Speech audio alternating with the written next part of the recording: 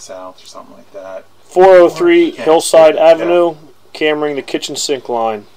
Yeah, it's. Uh, We're looking at the sewer connection. I'll gonna pull back.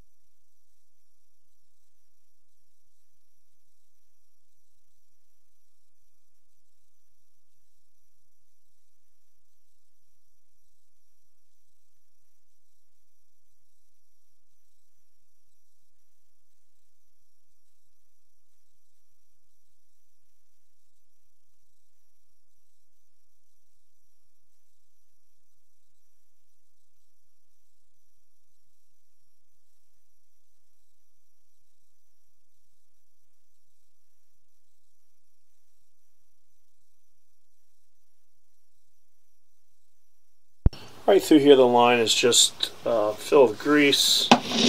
We were able to diagnose that it has something to do with this line. Um, he wants to possibly move forward with a liner.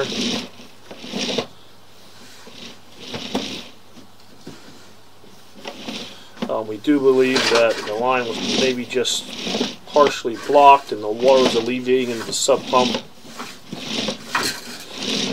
And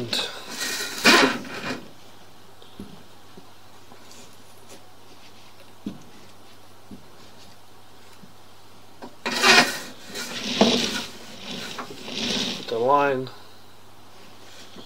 is compromised somehow.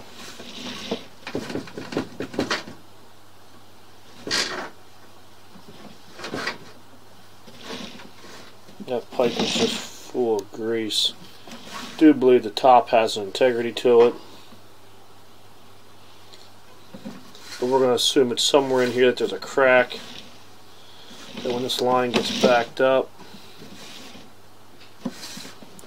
it seeps out somehow into a sump pump.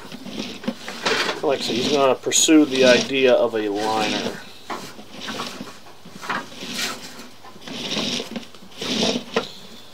End of recording.